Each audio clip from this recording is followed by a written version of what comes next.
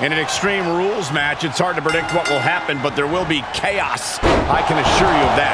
A thing I love about Extreme Rules is we're guaranteed something from out of the blue. Some outside interference, a weapon nobody saw coming.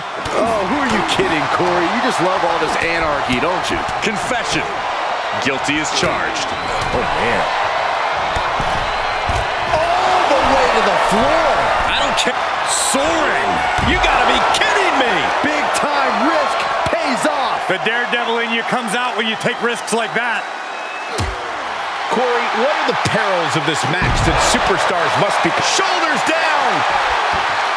And a kick out right away. Amazing. And he's able to counter.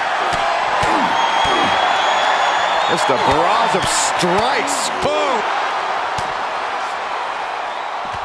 Uh-oh.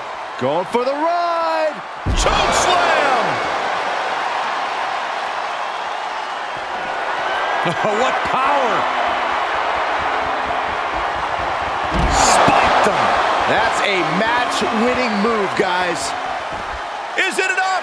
The cover. Two. He kicked out at two. He is just barely still in the fight. I don't know how many more times. what power. Tombstone pile driver. That puts him in total control.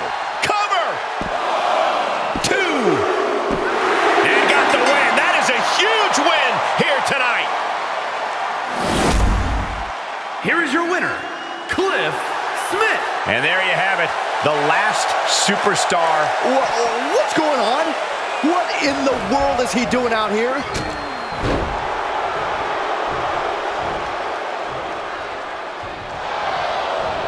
He's able to fend off the attack. And taking him head on. Over and over. Just a barrage of strikes. Big hook.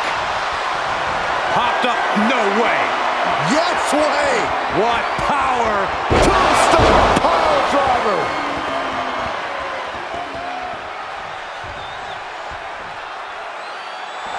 The adrenaline is pumping.